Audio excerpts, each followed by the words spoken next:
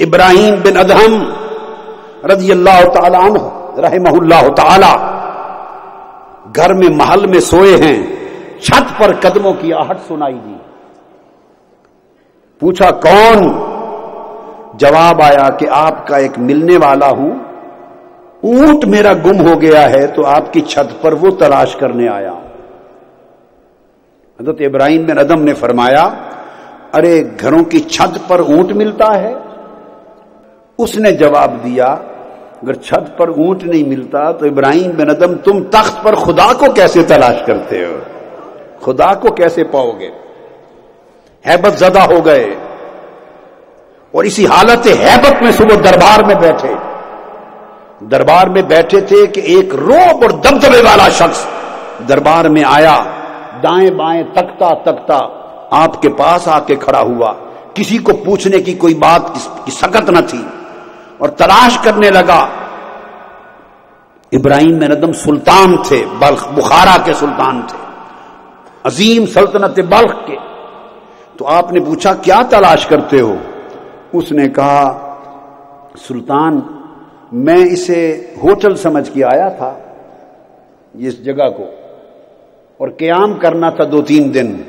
تو اندر آ کے دیکھا ہے، تو یہ تو میں نے دیکھا کہ ہوٹل بھی نہیں ہے، یہ سرائے ہے۔ اس لیے بس اب واپس جانا چاہتا ہوں۔ تو ابراہیم بن ادم نے کہا، یہ تخت شاہی ہے، دربار ہے سلطنت کا۔ تمہیں سرائے کیسے نظر آئی؟ اس شخص نے کہا، سلطان ابراہیم بن ادم یہ بتا، تجھ سے پہلے یہاں تخت پر کون تھا؟ کہا، میرا باپ۔ اس سے پہلے کون تھا؟ میرا دادا۔ کہا، پھر تمہارے بعد کون ہوگا؟ میرا بیٹا، میرا پوتا۔ اس نے کہا کہ پھر وہ کہاں ہیں؟ اس نے کہا وہ سب چلے گئے۔ تم کہاں جاؤ گے؟ میں بھی چلا جاؤں گا۔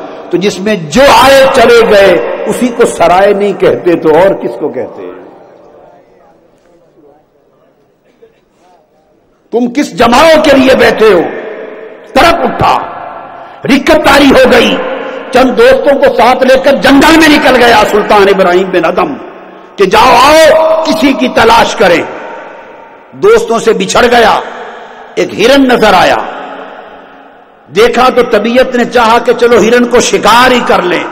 شکار کے لیے اس کی طرف متوجہ ہوا تو ہرن بول پڑا، سلطان، اب میرا کیا شکار کرے گا؟ تو تو خود اب ان قریب شکار ہونے والا ہے۔ خود شکار ہونے والا ہے۔